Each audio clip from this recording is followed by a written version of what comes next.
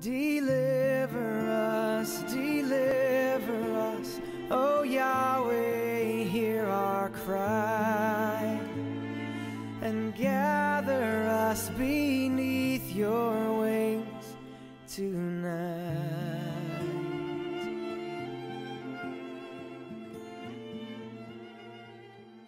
Greetings, my friends in Christ from St. Paul's Lutheran Church in Jonesville, Indiana, as well as all of our online guests who are joining us. It is good to have you with us now for part five of our study of Exodus. Today we will be talking about Moses going to Mount Sinai and receiving the Ten Commandments. Certainly a, an important moment in the life of Moses, in the life of Israel. Uh, this is something that, besides the actual parting of the Red Sea and the actual Exodus, is probably the most significant event in the book of Exodus. Now, as we get into the Ten Commandments, I just want to make this disclaimer. For this particular study, I do not intend to go through each individual commandment and, and talk about the meaning and the implications of each individual commandment. Uh, perhaps we will do a another study on that sometime in the near future. Uh, but if you would like something more on each individual commandment, I certainly commend to you Martin Luther's Small and Large Catechisms on the Ten Commandments. Uh, the Large Catechism, especially, is just uh, extremely rich in pointing out the implications for us on each commandment. And even though it was written 500 years ago, it is always amazing just how timely uh, Martin Luther's explanations are. And so I certainly commend those readings to you if you would like more on the individual commandments. But today we are just going to talk about uh, specifically Mount Sinai and its significance here, as well as the general implications of the law in general. Uh, as the Ten Commandments are kind of the embodiment of God's law to his people, uh, so also then we will talk about what is the role of God's law and how does God communicate that law in the giving of the Ten Commandments. So let's get right into it. We start at um, Exodus chapter 19 and then we will also read chapter 20. I will give you a minute to review those chapters real quick. Exodus chapters 19 and 20.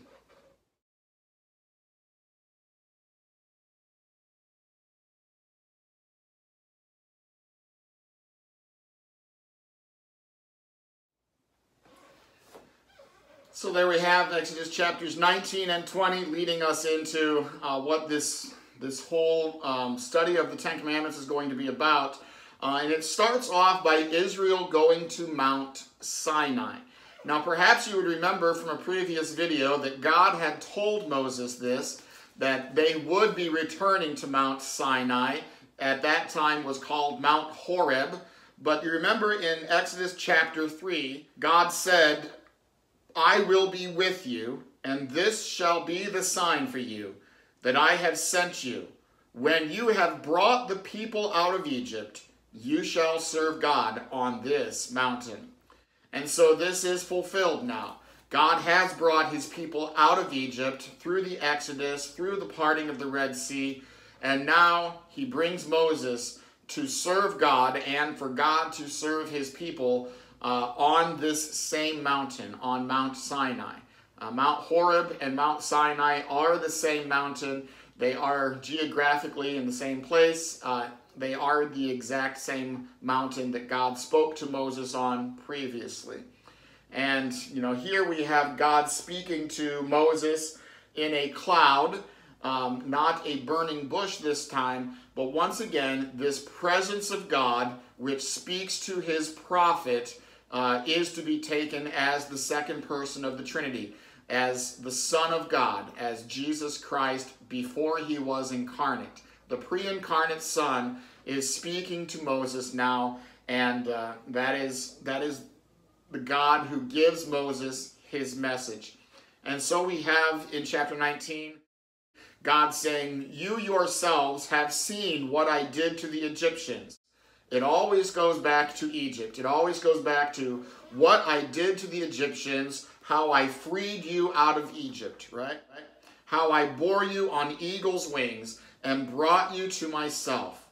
Now, therefore, if you will indeed obey my voice and keep my, my covenant, you shall be my treasured possession among all peoples, for all the earth is mine.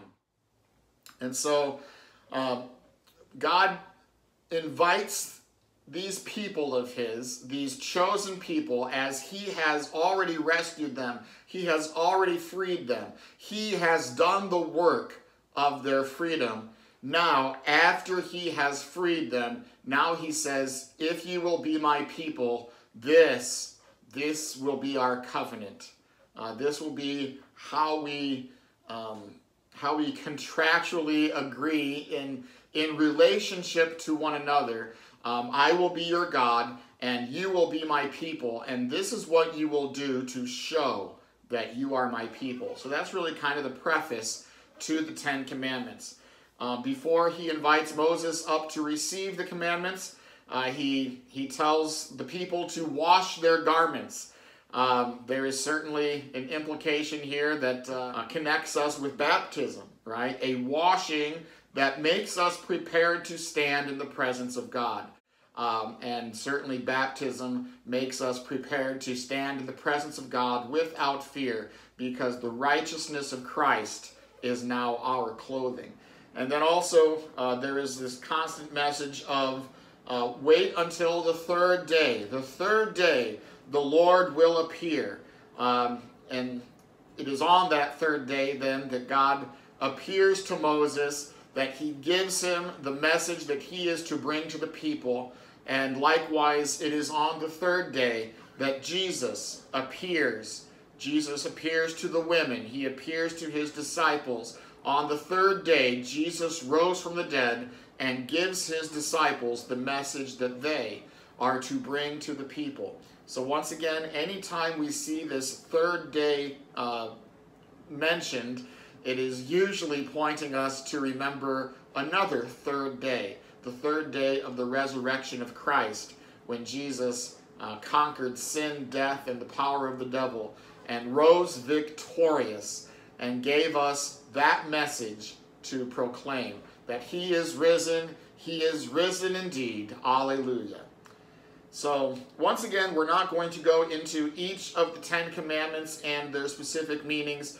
But uh, let us get into Exodus chapter 20 and talk about the Ten Commandments. First of all, uh, we should note that when we talk about the Ten Commandments, uh, this is something everybody understands. Everybody seems to have a, a knowledge of the Ten Commandments. You know, we go through uh, these constant battles over whether the Ten Commandments should be displayed in our courthouses and in our public buildings, in our schools, all these kinds of things. Um, everybody has a cultural knowledge of the Ten Commandments.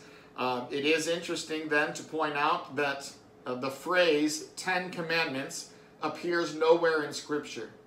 There is nothing in Scripture that says um, we have Ten Commandments. We have commandments. Uh, we certainly have the law and that law was written on tablets of stone, but nowhere in Scripture does it say the Ten Commandments. This is uh, something that has been learned by teaching over time, and uh, you know we have this kind of cultural awareness of, but that does not say in Scripture these are the Ten Commandments. So I just want to kind of point that out because uh, it is interesting in the Hebrew and in the Jewish tradition uh, regarding these Ten Commandments. Uh, they, they refer to them as the ten words, okay?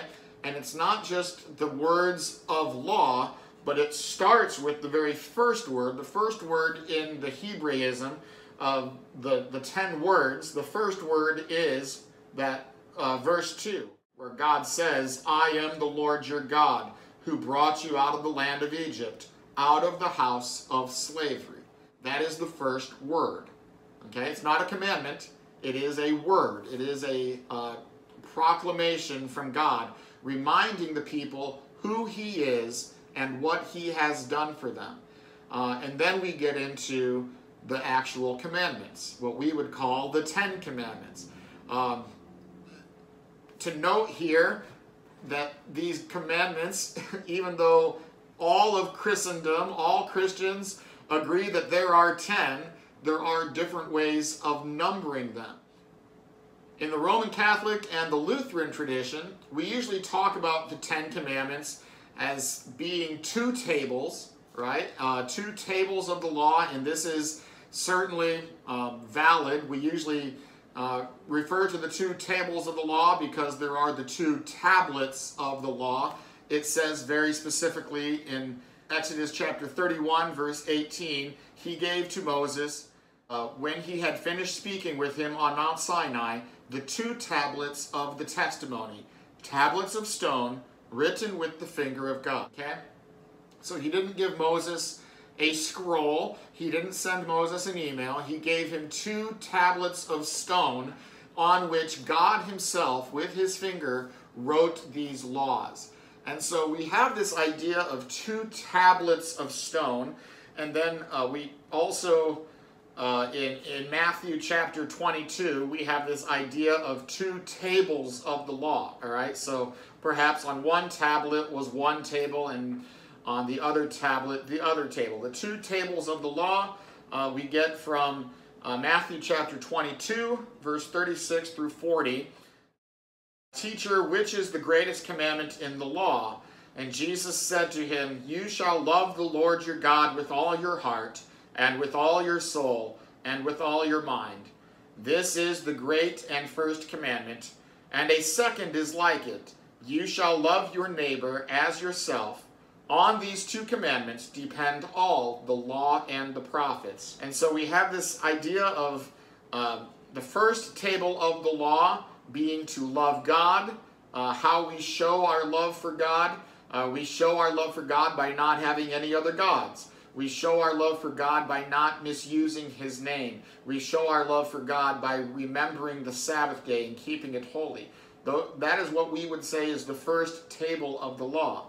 And then the second table of the law has to do with the love of our neighbor, how we love our neighbor as ourselves. Uh, we are called to love our parents. Um, we are called to love uh, all of our neighbors by not hurting them, by not harming them, certainly by not killing them. Uh, we are uh, told to love our spouse uh, in the sixth commandment by not committing adultery, um, by not stealing from our neighbors, by not bearing false witness or false, false testimony against our neighbors, or by not coveting our neighbor's things, right? Uh, all of these things have to do with loving our neighbors. So love God, love your neighbor. These are the two tables of the law. Now, it shows us then that uh, in, in all of the commandments, um, we are called to love others, right? It is, it is a calling to serve somebody outside of myself, whether that is uh, the calling to serve God in the first commandments, the first three commandments, or in the, uh, uh, the love of neighbor, which is the last seven. Now, I say the last three and the last seven because I am a Lutheran, okay? Uh, Lutherans and Roman Catholics, probably not coincidentally, Lutherans get much of what we get from the Roman Catholics. Uh, we prefer to number our commandments in this way. Uh, the first three commandments uh, have no other gods, do not misuse God's name, and remember the Sabbath day by keeping it holy. That's what we call the first three commandments. Uh, in the Reformed and uh, Eastern Orthodox tradition, they would uh, take the first commandment, you shall have no other gods, and then they would also then include in that, um, you shall not have any graven images. Do not make for yourself any graven images. Now, certainly that is what Exodus 20 says, and we do not want to discount those words of Scripture. We just kind of include that in the first commandment, right? To not worship another God means that we are not going to worship an idol or a carved graven image to that idol, right? We just combine that all into one commandment. Uh, but we could certainly separate it, and that's not a big deal, unless the implication of that is to say you can't have, for instance, a picture of a cross, right? And that's when we would say, no, absolutely. The, the, the cross, the crucifix, that is something that we should not only be allowed to have in the church, but we should have in the church as it reminds us of what Christ has done for us. Um, so we never want to say, we, we never want to take that too far. But certainly we shouldn't worship idols. We are, we are in agreement on that. Um, and then where we differ on the tail end, you know, we, we would divide the ninth and the tenth commandment, tenth commandment by saying, you know, you shall not covet your neighbor's house, and you shall not covet your neighbor's uh, wife, maidservant, manservant, ox or donkey, anything that belongs to your neighbor. Um, we separate those two, whereas the Reformed and Eastern Orthodox would combine those as one commandment, do not covet. Um, I will say neither counting is necessarily right or wrong. Um, really, it, it kind of goes to show what I started with by saying it really never says there are 10 commandments. That's something that uh, our history of teaching has has shown us, but it's not something that the Word of God says. Uh, so you could very easily say there are nine commandments if you uh, just combine them all, or you could say there are 11 commandments if you want to separate them all. Um, it does not say anywhere that there are 10, and the Lutheran way of counting them versus the Reformed way of counting them, one is not necessarily right and one is not necessarily wrong. Uh, it is just the way that our traditions have have come to understand the commandments. Now you could take this graven images thing too far and say there should not be any any artwork in the church. There should be no stained glass windows. There should be no statues. There should be no banners. There should be no artwork in the church. And if you take it to that point, then I think uh, I think we do have a problem because I think you've taken it too far and you've put a law on things that there ought not be a law on. So something like my cross, my crucifix here, uh, there should be no law against that. That should be something that that we want to see, to be reminded of our Lord's suffering. Um, and to just kind of point out why that is, why that is the case, uh, to say that there should be no images um, in regards to worship, certainly we should not worship the images. The golden calf shows us that. We're not quite there yet, but we'll get to that. Uh, but but images in and of themselves are not bad, even golden images. And we see this uh, in Exodus chapter 25, just after God gives the, the Ten Commandments, he is giving them instructions on how to build the tabernacle. And uh, he talks about making these curtains. Um, and as he's making, talking about the curtains, he says, And you shall make a veil of blue and purple and scarlet yarns and fine twined linen. It shall be made with cherubim skillfully worked into it. Okay? So as he's talking about making these curtains, he's talking about what kind of fabric they are to use.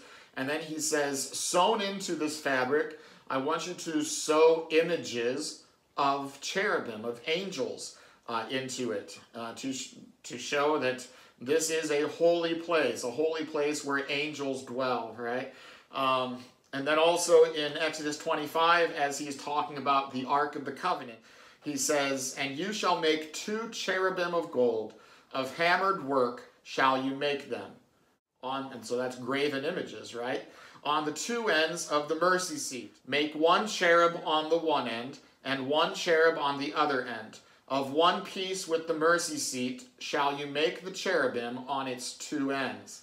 And so, just after God says, You shall have no graven images, now he is telling the people how to make graven images, how they are to make artwork to uh, adorn the tabernacle, to decorate the tabernacle. So I think it's a far stretch to say that artwork in and of itself is the problem. No, it is the worship of these images, of these um, statues, or uh, the worship of these um, the, of, of this art right? That is what the problem is. And uh, every other religion at this time would have that. Every other religion would go to an image or a statue uh, to be the object of their worship. We see that with the golden calf. Uh, but God says, I do not want you to worship an image. I want you to worship me, right? And that's why we say that goes along with that first commandment, uh, you shall have no other gods. Interestingly, then, in Colossians chapter 1, Paul is talking about Jesus Christ himself, and he says, uh, Jesus is the image of the invisible God, the firstborn of all creation, right? So, in the person of Jesus, we don't need a statue to worship uh, because that's what God might look like. Rather, we have the human being, the man, Jesus Christ. He is the object of our worship. He is the one uh, whom we adore, whom we serve.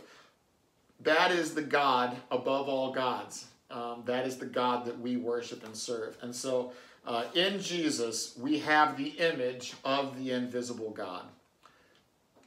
And so that is some of the difference in the uh, in the numbering of the commandments.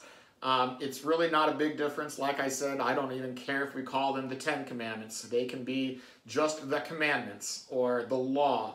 Uh, we can call it that and be perfectly fine, be perfectly well within Scripture. Scripture never calls it uh, calls these the Ten Commandments. That is something we use as a as uh, a bit of a teaching device, you might say. Um, the commandments show us that life as the Lord's people will be a life not about self improvement or self betterment, but it is a life of relationship and service to others. If we look at this in comparison to um, other religions, perhaps, you know, we look at Islam. Islam has the five pillars of Islam. And I would say four of those five are really all about the self.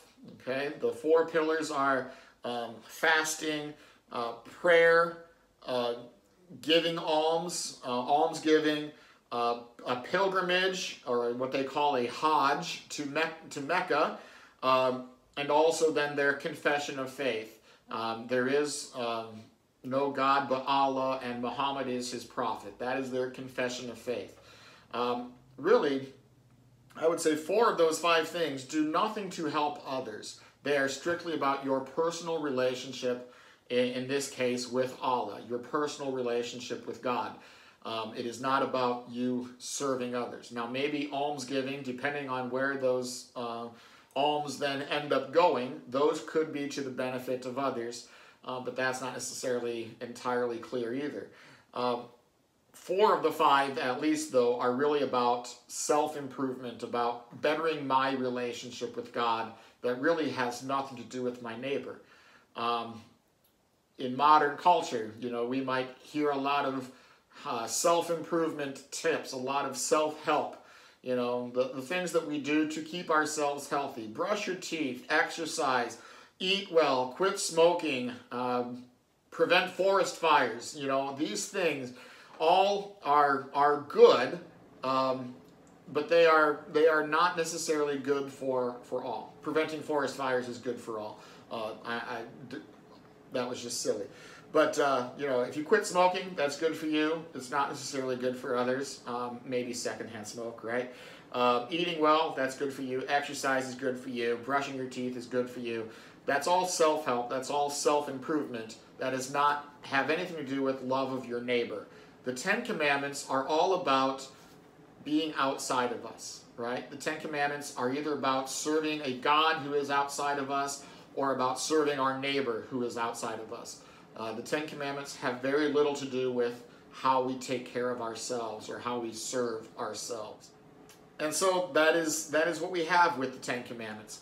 We have God telling us that as his people, as his covenant people, we will live for others. We will serve others.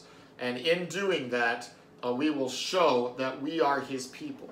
Now, it is interesting that the Ten Commandments start with this preface where God says, I am the Lord your God who brought you out of the land of Egypt, out of the house of slavery. God is the God who, who rescues his people, right? And then as rescued people, he says, This is what I want you to do.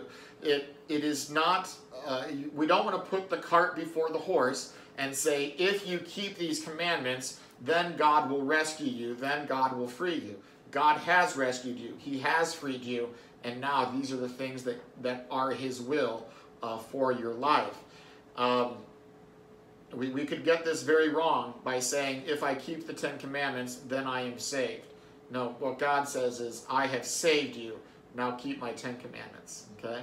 And we also have to realize the reason for the giving of the Ten Commandments uh, is to show people how to live, right? It is to act as a guide uh, to his people, but it is also to act as a mirror, okay? And this is the role of the law for each of us, right? The, the role of the law is to shine as a mirror before us. And as we look at those Ten Commandments, we see that we have not kept them perfectly. We see that, uh, that we, we have sinned both against God and against neighbor. And uh, the role of the law in general is to bring us to repentance. It is to bring us not to Mount Sinai, but to bring us to uh, the mountain of Calvary, to bring us to the cross, and to say, uh, Lord Jesus, uh, for these sins you have died. And therefore we lay those sins at the feet of Jesus and we let him forgive us of those sins. Uh, the law is there to bring us to repentance and to bring us to the mountain of Calvary right? So we have two mountains going on, Mount Sinai and Mount Calvary. Uh, certainly we have um, the presence of God on both mountains. We have um, inclement weather conditions at both mountains, right? You've got the thunder and the lightning at Mount Sinai. You have the darkness and the earthquake at Mount Calvary upon Jesus' death. Uh, but we see here in these two mountains, one mountain of law and one mountain of gospel. And it is certainly the gospel mountain, the mountain of Calvary, and Jesus' death on the cross. That is the mountain which saves. Mount Sinai is there to shine a light on our sin, to shine a light on our sinfulness and our need for repentance. And then Mount Calvary is there to offer us the forgiveness of sins and the righteousness of Christ that comes from his death and resurrection. And so that is certainly not everything I want to say about the Ten Commandments. That is all um, we have time for today. I hope it was illuminating for you. I hope you learned something about the Ten Commandments. And certainly, once again, I commend to you to read uh, Luther's meanings in the small and large catechism about the Ten Commandments. And uh, uh, I think you will find those to be completely relevant for us today. God's blessings on your week. Have a good one.